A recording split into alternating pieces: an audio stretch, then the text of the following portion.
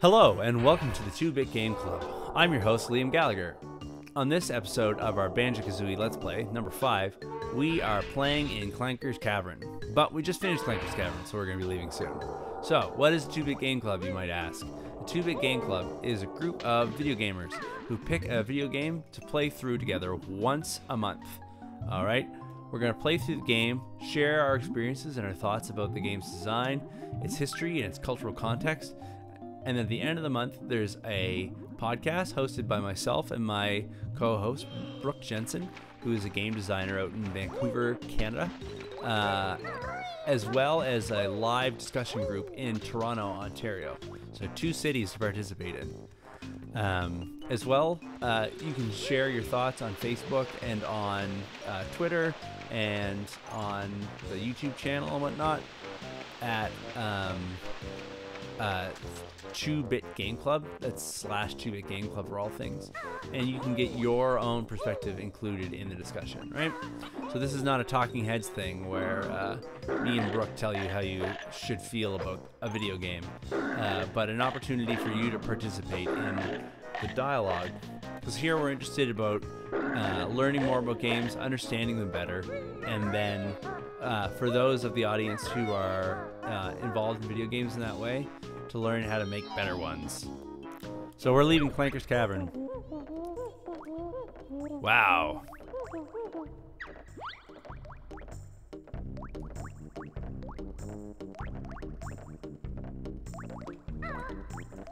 So, here we are. We've got to move on. We're going to the video game land. We need to find, um, I guess we probably have enough Jinjos now to get to the swamp. One of the things that, one of, I didn't know I was supposed to, or I don't know if you're supposed to go to Clanker's Cavern then, but I used enough Jiggies to unlock um, another area of the game, uh, but then could not find it. and so now I'm here. Um, so that's an interesting aspect of these sort of more open world exploration games, right? We're not going from zone one to zone two to zone three. Um, you know, in order with the levels being like, all right, this is the level level now. Play this level, um, like you would in a, in a Mario World. Um, it's Mario World for people who don't understand the weird set of pronunciations I've made up for things. Um, but you get to actually traverse uh, an area uh, between uh, between levels, right? The, the, there's a level that connects the levels. It's like a nexus, it's a hub world thing. Um, teleporters. So it's something I, I did last uh, Let's Play of this. Um, I might as well do it again, uh, just because it's funny. Um, so I'm recording this during E3 uh, 2016. Um, and one of the really, one of the things that a lot of games are coming out with is talking about how fantastic and fancy their open worlds are and how the hardware um, is finally allowing them to make open world games, uh, which is interesting because this is kind of an open world game in and of itself. Spaceflight for the PC back in like 82 or whatever. That's not a real number. I'm making that up. I don't actually remember when it came out. It was an open world game. Um, to a great extent, um, ActRaiser, the first game that we did in the 2-Bit Game Club, was an open world game. Um, insofar there was like um, a fantasy RPG style. Um, so maybe I can just like eggs through these bars. Being able to eggs through other bars. Uh, nope. You're betraying me, Rare. You're betraying me. Um, yeah, I mean, I guess part of it comes down to what you mean when you say open world. But a lot of these games, like the new Ghost Recon game, is going to be an open world game, and uh, Legend of Zelda: uh, Breath of the Wild is going to be an open world game. But it, but I guess like Zelda for the NES to me that was an open world game too. So I don't know. I don't know about this, guys. I think the open world games have been amongst us since the early days. Um, the big thesis of my take on um, the ActRaiser game was that um, it was a demonstration of how the hardware shouldn't necessarily be a limitation. See, I just used my video game literacy. I guess we should go to the swamp. Those, those, those boots are a power. Yeah, there we go.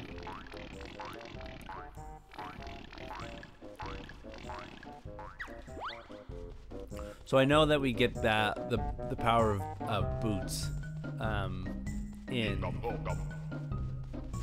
it's a bear with a tie, like Banjo. I guess Banjo doesn't have a tie, but.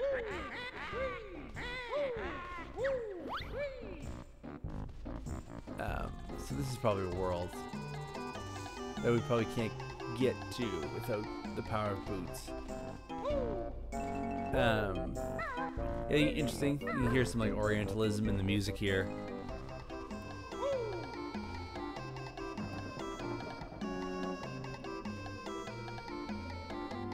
The um, so, so the main the melody melody the melody instrument is switched to something like a ney or like a shawm or like a sort of North African reed fluty type uh, instrument.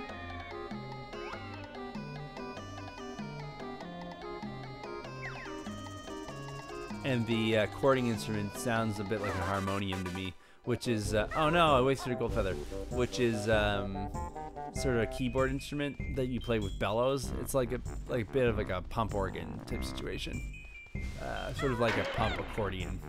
If that makes sense. It's interesting that the we have these like unspoken designations of uh, Orientalism in our culture, where if you hear uh, a nasally sounding flute instrument like a shawm or a ney, uh, all of a sudden you're in Egypt and there's sand blowing everywhere, and there's a thousand camels. Um, where we have like a cultural shorthand for, uh, you know, people wearing turbans. Um, we'll have to see. Oh no! Come on.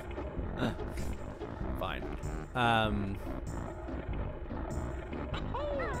I wonder what the core. Like, there's probably a parallel in like uh, North African. Oh, oh! Uh, that's probably my opportunity to get that piece, eh? And I just didn't know it. I'm sure there's a corollary in. Uh, hey, look, this fun little art etched into the wall. Yeah, good use of the textures, right?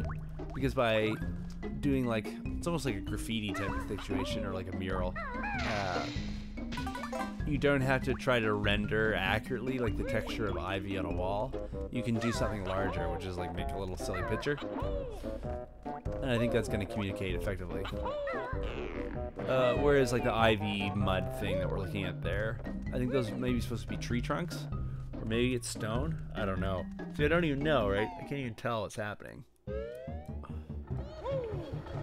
Um, getting lost in the overworld is good. Uh, yeah, but I was saying, I'm sure in like Egypt, there's hilarious shorthands for like American culture uh, musically, where there's certain motifs that just sound like uh, North American music. Not yet, not yet. I'm not gonna try that a third time. Okay, so let's go to the swamp because uh, I think I remember how to get there, and they have boots, and we need boots, and we need to do the swamp level eventually. Anyhow, might as well be now. Um, oh, the camera. Um, you know, when you don't know where to start, start anywhere. Okay, so I don't know how to get there because this is Treasure Trove Cove again. oh boy. Okay, let's get out of here.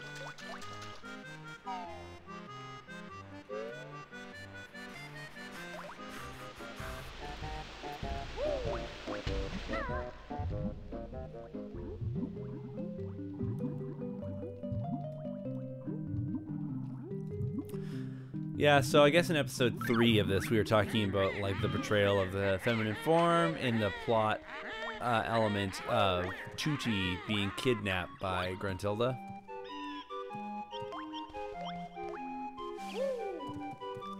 Um, and whether or not we could apply as much, say, like cultural weight to that portrayal as we could do, like, I don't know, like Atlas Shrugged or the Iliad or Hamlet. Um, what does it even say? So Click Clock Wood is not where we're trying to go. Hopefully by the end I will actually know where everything is and we'll just be zipping from point A to point B uh, so fast that we don't even appreciate the artwork that's placed in between us and our destination. Um, yeah, whether or not um,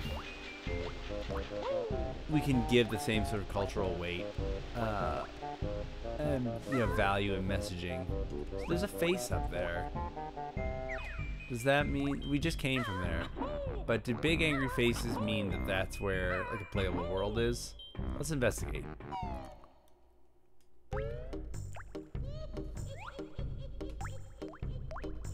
Yeah. Yeah. Starting to think like I understand a thing or two. But I don't. Hey, you buddy. You blew up. Oh. Okay. Wow, what a good live stream, Liam. Um, yeah, so in the same way, are we, how much weight are we gonna want to put into the use of like really vague and kind of lazy ethnic uh, colorings to create um, the scenarios for which Banjo and Kazooie will travel, right? Because on one end, like they want to create uh, a Egyptian level is kind of natural, um, not because uh, necessarily we hate the Egyptians. I'm pounding your eyes out. And that's worth a jiggy. Okay. At least I'm getting reward from it this time. You know, separating the difference between what is like a cultural legacy of trying to create marvelous and fantastical depi depictions of the Near East or the Middle East or whatnot, um, and what is what is happening? So I did open up Clanker's Cavern. I'm lost and confused, guys. Um, I have no memory of any of this. Where am I? so lost. um, and what to what element is the game just like cashing in on a cultural heritage that we have, where our depictions of mythical um, Far East or whatever, that would be China and Japan, uh, mythical Middle East, uh, is just part of our like cultural narrative practice, and that it exists independent independent of those actual real cultures.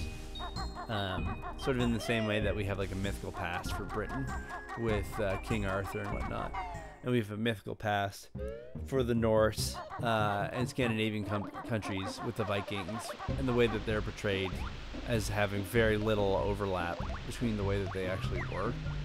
Um, in fact, oh, that camera work. Ugh. Um, so we've already gone there. To no avail. I feel like the swamp was in this direction. Um, so how much do we want to peg Banjo-Kazooie for using those elements of Orientalism? To what extent is it an expression, expression of a racist and outdated view of that part of the world? Uh, and to what extent is it tapping into a troubled but uh, nonetheless narratively rich uh, element of where camera, please. Um, um, of fiction that we have available to uh available I'm gonna uh, I'm gonna ground the camera it's not allowed out of its room for the next week. Ah, please. Why do you gotta? Um, yeah, it's tough. How do you figure out in what circumstances it's okay? Oh, but we have to open it up. It's got to be a tread. Mm, This game is punishing me. I don't remember anything is.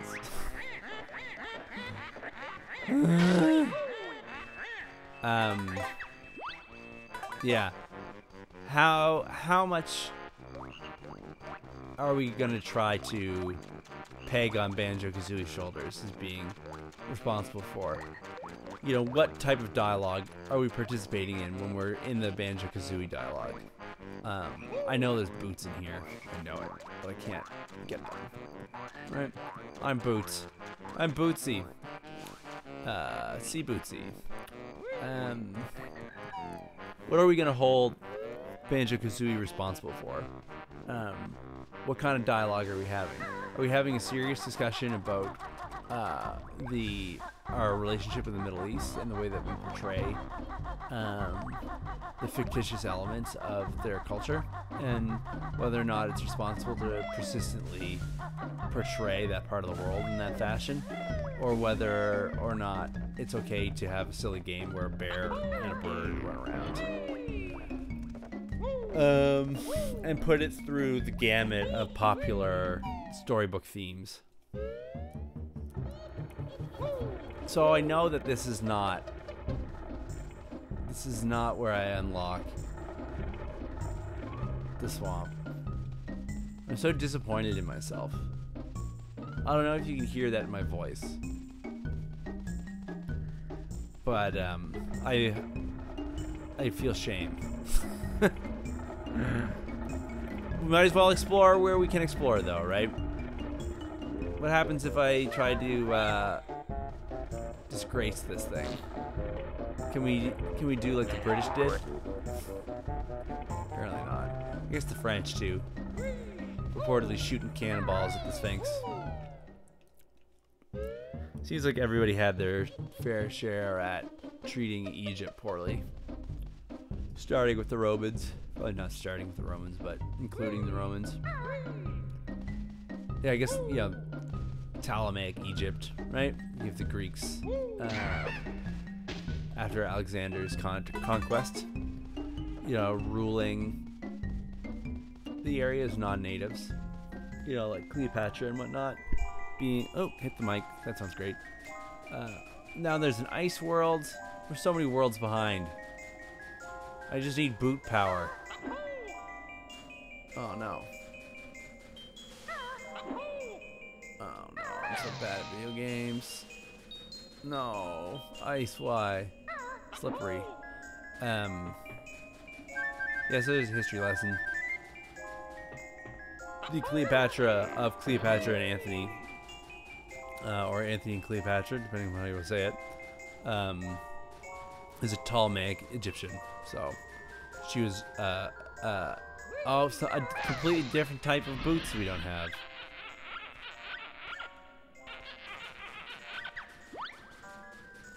That's fun.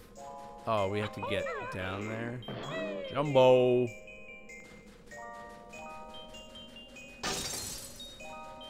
Right, so I need the speedy boots in order to get to the feather platform. Ugh. There's a Mumbo token up there, so we might as well dibs it.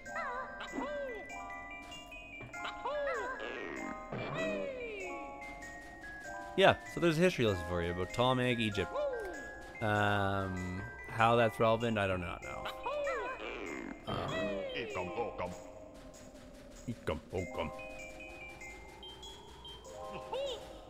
So, I don't know if we were all willing to admit it before, but uh, I think we're willing to admit it now that I'm thoroughly lost. I guess that's sort of like an advent calendar. That's cute. Like that. Even the game is taunting me with how long it's taking me to get through this level.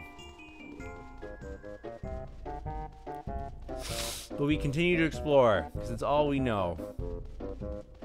And it's all that's available to us right now. 450. The game is basically telling me I'm out of my league.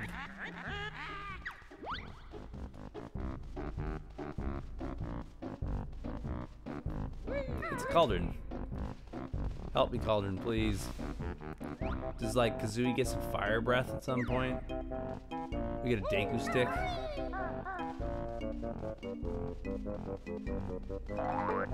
I, oh, I guess it would have been impossible not to take inspiration from Ocarina of Time, right? Genre defining, console defining, era defining game. I suppose I can fly in there, provided I have fly boots. Okay. Yeah, whatever. She says silly riddles. Then insults her sister. Alright, let's go, boss.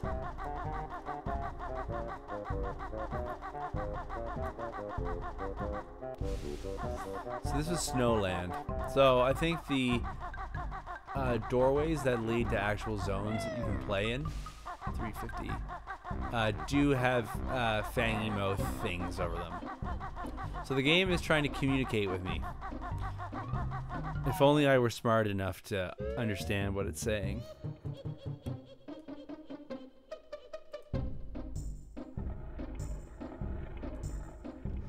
If only I had the wits in order to make any sense of it.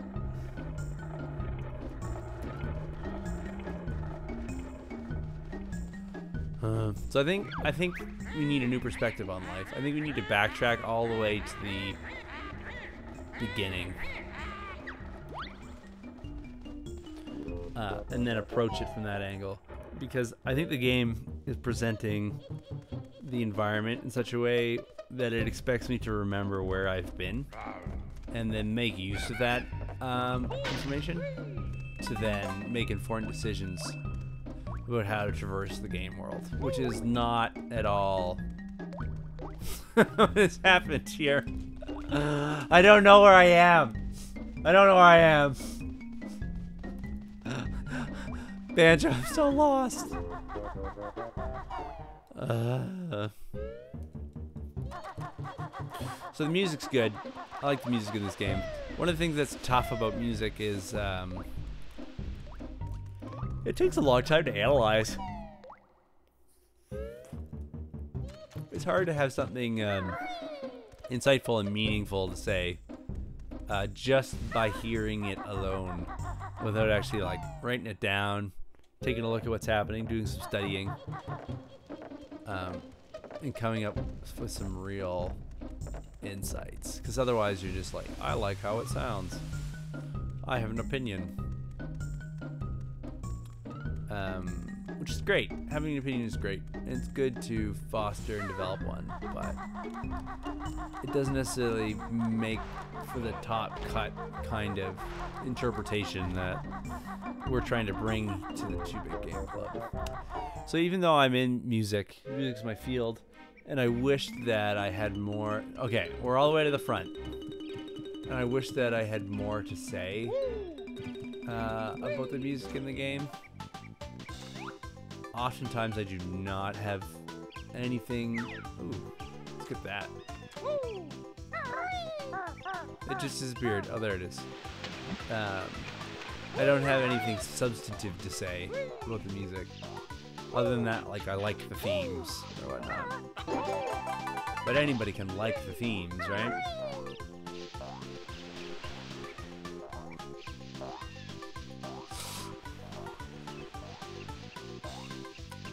To like the themes is human, to have something substantial to say about them is divine.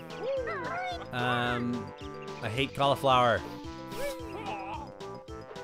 Oh! Um, Alright, so we're gonna go back into Gruntilda's lair. and we're gonna try to figure out what went wrong in life so badly that I'm being beaten by the overworld in Banjo Kazooie. You know, it's not even like I'm getting stuck on a boss. I'm not even getting stuck on an enemy or a puzzle. I'm being stuck on the overworld. Yeah, that one's got one too. Okay. I'm learning to speak the language. The level designers have put in hints for me. Probably hoping to avoid this very thing. you guys are gonna have to try harder next time. I have not played Banjo Tooie either. Speaking of next time, this game did get a sequel. It was well received when it came out. Um, and as far as I know about the sequel, is it's the same game but more.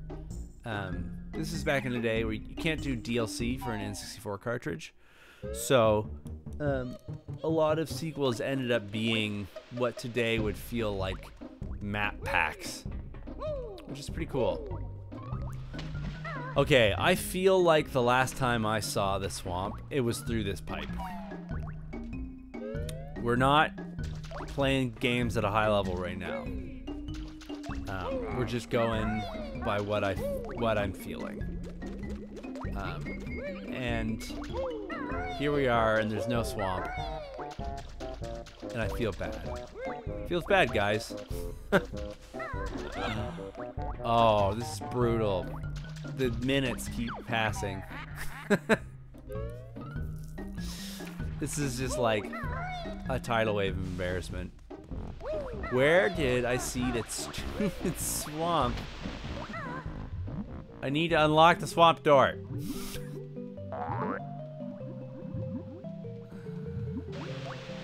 Okay, I feel like I haven't explored beyond here. I haven't seen any picture frames beyond teeth doors. I think that like the teeth door areas basically just have some theme and then the entrance to the world. Little level. Yeah. Okay. So I know that I don't necessarily have to look anymore beyond teeth doorways.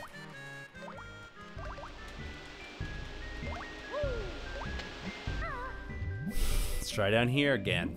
Um, yeah, so this is a real disadvantage of this type of open world, you know, hub world thing, where you can lose people.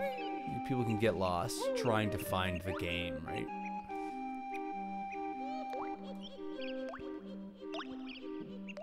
You know, I'm here getting out the first person view, 360 scanning rooms to make sure that I haven't missed any hidden exits. I'm glad that I don't have the responsibility of providing entertainment per se with these videos because otherwise I would have I would be having like a long hard sit down with myself after this you know the focus of these is to try to provide some insight on the structure. Um, and I've gone into this pipe again. Sweet lord. Um, and, you know, for better or for worse, uh, part of that includes encountering uh, the elements of the game that are less desirable, uh, that are somewhat painful to negotiate um, to learn from them, right? This is the thing where people talk about. Um, is there a thing over here that I missed? There is. All right. I don't know if that's our answer, if that's what we needed this whole time, but uh, it's something. We're at least experiencing new gameplay. Um, yeah, and absolutely, you need to you need to know the masterworks and the genre-defining, history-changing um, entries to the canon um, in order to really be a well-versed expert in a medium. but I think that you can also learn a lot from uh, watching other people fail, and not in like a Schadenfreude, I'm an evil human being kind of way. We're gonna drain the water, or open the grate, yay! Um, but in a way where like you can see other people make mistakes so that you know not to repeat them. Um, because this is agonizing. It'd be great if this just let me into an area that I already had access to. It's just a route. Like it was just toying with me. Oh, we found it. Z button. We did it. Oh man. I don't have to lie when people ask me if I got anything done today now. Bubble Gloop Swamp.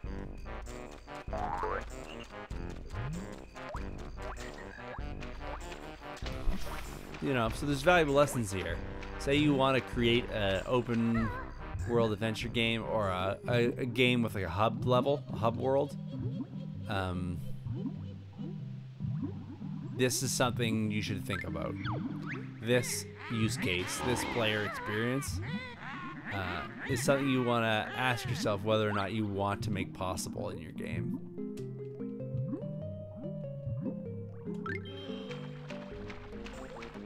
You know, it's something to ask yourself about what could you do to change it, to make sure that this does not happen to a player. Because this, like, so that's Clanker's Cavern. One of the things that I don't understand is why the places where you unlock the levels are so far away from where the levels start themselves. So I theorized before that it's to differentiate itself from Mario 64, where you unlock the levels and then immediately jump into the paintings, whereas here you unlock the paintings and then get lost for 40 minutes and then finally find the entrance to the world uh, and look dumb on a live stream. So why would you want to do that? Um, I don't know. I don't know. We're here though, and that's what matters. Yeah, why why would you want to think aloud for 45 minutes and then record that? Um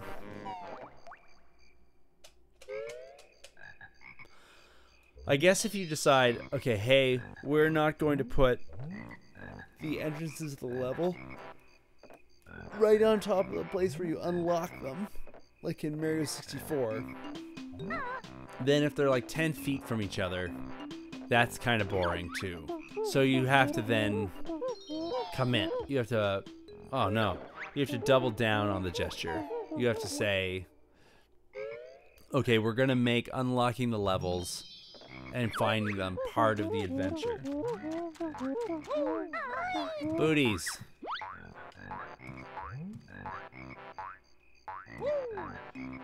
Because otherwise, it's lame.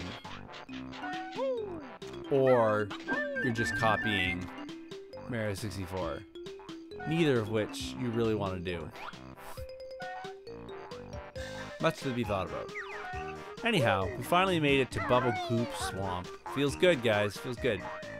So I think this is a great place to leave it. So the next video, we'll start clean with Bubble Gloop Swamp. Um, so, thanks so much for watching the 2-Bit Game Club. I've been your host, Liam Gallagher. You can find us on the web at 2-Bit Game Club. Uh, that's on Twitter or at theliamgallagher.com slash 2-Bit Game Club. We're also on Facebook and Twitch TV and How Long to Beat and all the other great things you know and love at uh, 2-Bit Game Club. It's the number two. Uh, so please uh, send in your thoughts and your ideas about the game and your criticisms for my the horrible amount of time it took me to find this horrible swamp. Um, you can do that on any of those platforms. And I hope that you learned something. I know that I did. So, once and for all, for everybody at, here at the 2 Bit Game Club, thanks for tuning in. I've been Liam Gallagher.